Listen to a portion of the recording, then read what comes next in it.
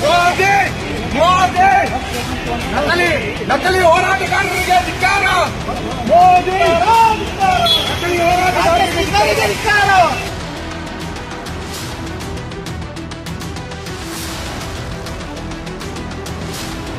नमस्कार मैं प्रियंका आप देख रहे हैं online news India Rakesh Tikait किसान आंदोलन से जुड़ा एक बड़ा नाम राकेश टिकैत, जिन्होंने दिल्ली के बॉर्डर्स पर बैठकर मोदी सरकार की नाक में दम कर दिया।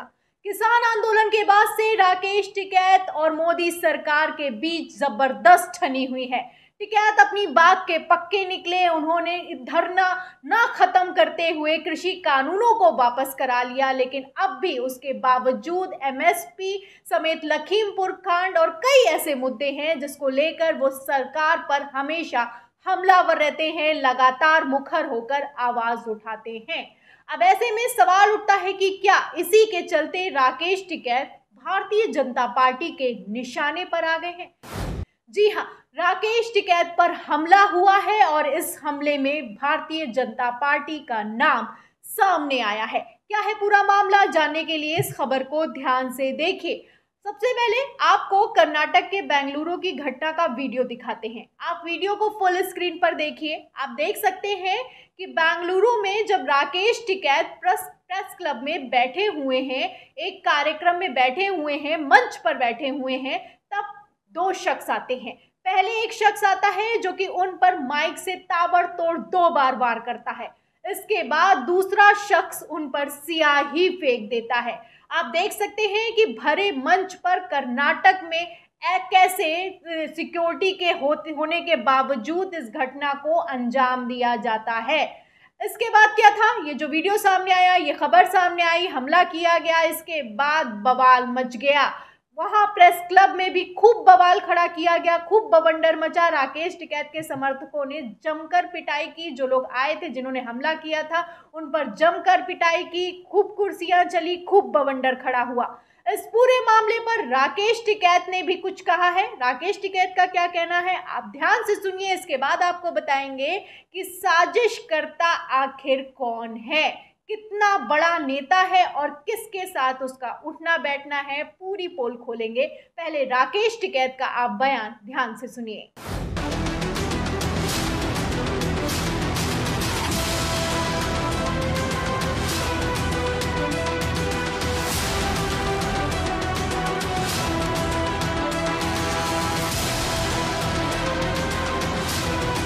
बताएँगे के लोग बताएँगे हमें जानते हैं। आप क्यों आए थे? क्या हुआ था? ना अपने लोग में बैठे अभी बताइए तो ज़िम्मेदारी यहाँ की लोकल पुलिस की है ये लोकल पुलिस की ज़िम्मेदारी है कि यहाँ पे कोई सिक्योरिटी मरम्मत नहीं है ये लोकल पुलिस की ज़िम्मेदारी है और ये पूर्ण रूप से सरकार की मिली भगत से ये काम है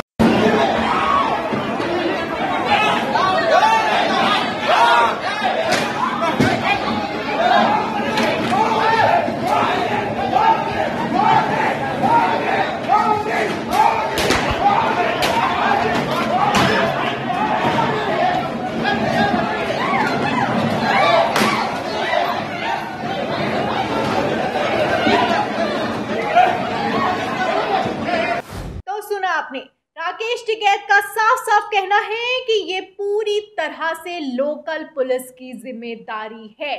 जी हाँ जब भी कोई बड़ा नेता कोई डेलीगेशन कहीं जाता है तो लोकल पुलिस की परमिशन के साथ ही जाता है परमिशन के साथ ही प्रोग्राम किया जाता है। इसलिए पूरी सिक्योरिटी की ज़िम्मेदारी लोकल पुलिस की होती है, कर्नाटक पुलिस की होती है, बीजेपी सरकार की पुलिस की होती है, क्योंकि बीजेपी की सरकार है कर्नाटक में। लेकिन इसके बावजूद सिक्योरिटी होने के बावजूद राकेश टिकैत के साथ इतना कुछ हुआ है। राकेश टिकैत का कहना है कि लोकल पुलिस की ज़िम्मेदारी है और इसके साथ ही यहाँ की सरकार की मिली भगत है। यहाँ की सरकार की, यानी कि कर्नाटक सरकार और बीजेपी सरकार पर भी आरोप लगाते हैं राकेश टिकैत। राकेश टिकैत जो कुछ कहते हैं वो शब्दशाह सही भी साबित होता है। राकेश टिकैत ने जो कहा, उसका जब भेद खुला तो वो सच निकला। जी हाँ बता दें कि योगेंद्र यादव ने कुछ तस्वीरें शेयर की हैं। इस तस्वीरों को शेयर करते हुए योगेंद्र यादव ने बताया है कि राकेश टिकैत पर हमला करने वाला कोई और नहीं, बल्कि बीजेपी से जुड़ा हुआ व्यक्ति है। इसमें हमलावर, बीजेपी का जो हमलावर है, उसकी कुछ तस्वीरें शेयर की गई हैं। आप इन तस्वीरों में देख सकते हैं कि बीजेपी के बड़े बड़े नेताओं के साथ हमलावर दिखाई दे रहा है। कहीं पर भगवा गमछा डाले हुए हैं, कहीं पर फूलों का गुलदस्ता दे रहा है तो कहीं मंच साझा कर रहा है। इन फ़ोटो से आप अंदाज़ा लगा सकते हैं कि जो हमलावर है, उसकी कितना रसूख है भारतीय जनता पार्टी में। बता दें कि इसका नाम बताया जा रहा है, ए, भरत शेट्टी। भरत शेट्टी नाम बताया जा रहा है, जो हमलावर है, इसका बीजेपी से कनेक्शन सामने आया है।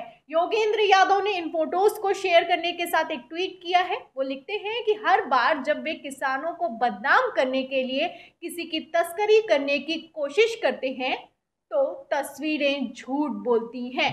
ये है भरत शेट्टी। जो आज बेंगलुरु में कर्नाटक में बीजेपी नेताओं और मंत्रियों के साथ राकेश टिकैत पर हमला करते हुए दिखाई दे रहे हैं। भरत शेट्टी बीजेपी से जुड़ा शख्स है और इसका भेद अब खुल चुका है। आप वीडियो में देख सकते हैं कि जो हमलावर है और जो जिसकी फ़ोटो शेयर की गई है, वो एक ही आदमी है। वो भारतीय जनता पार्टी के बड़े बड़े नेताओं के साथ उसका उठना बैठना है। आप इन फ़ोटो से अंदाज़ा लगा सकते हैं। कुछ भी होता है, कहीं पर भी कुछ भी होता है, विरोधियों के साथ कुछ भी होता है तो भारतीय जनता पार्टी के कार्यकर्ता नेता का नाम लगभग हमेशा सामने आता है। हमेशा पोल खुलती है तो कार्यकर्ता सामने आता है। कैसे लोगों को टारगेट करने के लिए भारतीय जनता पार्टी में तथाकथित गुंडों को पाला जा रहा है, आप इस खबर से अंदाज़ा लगा सकते हैं। जैसा कि राकेश टिकैत ने कहा, वही सच हुआ। राकेश टिकैत ये अच्छे से समझते हैं, किसान आंदोलन के बाद से वो अच्छे से जानते हैं कि मोदी सरकार के वो कितने ज़्यादा टारगेट पर आ चुके हैं और उनको निशाना बनाने के लिए सरकार कुछ भी कर सकती है। उनके जो कार्यकर्ता हैं, जो उनसे जुड़े लोग हैं, किसी भी हद तक गिर सकते हैं। आप वीडियो से अंदाज़ा लगा सकते हैं। बता दें कि मामले की शुरुआत तब हुई जब टिकैत एक चैनल के स्टिंग ऑपरेशन के वीडियो पर सफ़ाई देने बेंगलुरु के प्रेस क्लब पहुँचे थे। आप वीडियो में देख सकते हैं कि प्रेस क्लब में वो बैठे हुए हैं। इस वीडियो में कर्नाटक के किसान नेता कोडीहली चंद्रशेखर को पैसे मांगते हुए पकड़ा गया था। इसी पर राकेश टिकैत सफ़ाई देने के लिए गए थे। राकेश टिकैत और युद्धवीर सिंह ये कहने पहुँचे थे कि वे इसमें शामिल नहीं है। और धोखेबाज किसान नेता कोडी हली चंद्रशेखर के खिलाफ कार्रवाई होनी चाहिए। इसके बाद मामला सामने आया कि जो हमलावर है, वो कोडी हली चंद्रशेखर किसान है, उसी के से जुड़े हुए समर्थक हैं। लेकिन जब भेद खुला तो भारतीय जनता पार्टी के लोगों का नाम सामने आया है। इसके बाद प्रेस कॉन्फ्रेंस में क्या कुछ हुआ, आप देख सकते हैं कि दोनों पक्षों के बीच बहस शुरू हो गई। इस दौरान जमकर मारपीट हुई, लोगों ने एक दूसरे पर कुर्सियाँ फेंकी, खूब बवंडर खड़ा हुआ और बाद में भेद खुल गया। पूरा भेद खुला तो भारतीय जनता पार्टी की खूब किरकिरी हो रही है। क्योंकि डबल इंजन की सरकार है, भारतीय जनता पार्टी पर हमेशा आरोप लगता है कि राकेश टिकैत को निशाना बनाया जा रहा है और वैसा ही कुछ होता हुआ दिखाई भी दे रहा है। राकेश टिकैत और बीजेपी में 36 का आंकड़ा है, इसीलिए राकेश टिकैत हमेशा बीजेपी के टारगेट पर रहते हैं। आरोप है, आरोप लग रहा है कि यूपी चुनाव में राकेश टिकैत ने खुलकर योगी सरकार का विरोध किया है। उसके बाद से भारतीय जनता पार्टी काफ़ी ज़्यादा चिढ़ी हुई है और भारतीय जनता पार्टी किसी भी हद तक गिरकर कोई भी कार्रवाई कर रही है, कैसे भी निशाने पर ले रही है, ये आरोप लगाना है। क्योंकि राकेश टिकैत अपने पिता की पुण्यतिथि पर अपने ही भारतीय किसान यूनियन के गुट से बाहर हो चुके हैं, अपने समर्थकों के साथ बाहर निकल चुके हैं। भारतीय किसान यूनियन में भी दो फाड़ हो चुकी है।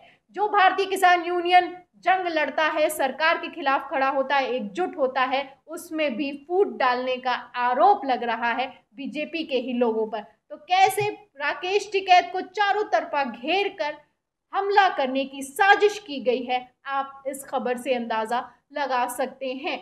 अब यहाँ सवाल उठता है कि सिक्योरिटी क्या कर रही है? फुल सिक्योरिटी होने के बावजूद आखिर कैसे राकेश टिकैत पर हमला हो गया?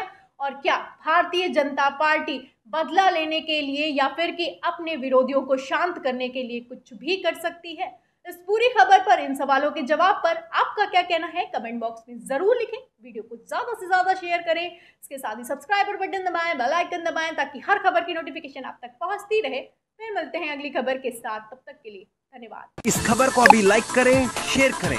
अभी चैनल को सब्सक्राइब करें और घंटी ज़रूर दबाएँ।